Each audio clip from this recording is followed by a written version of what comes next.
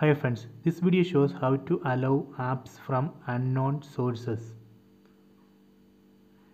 Using this Fire Stick remote, just go to settings, go to settings, then select My Fire TV. Select this option.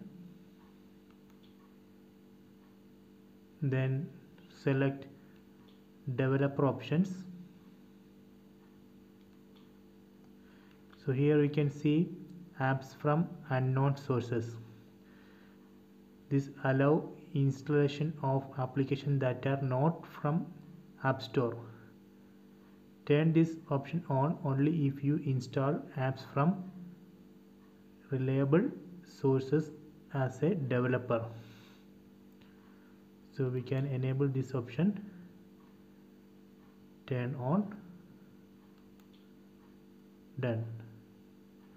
So this way we can allow apps from unknown sources.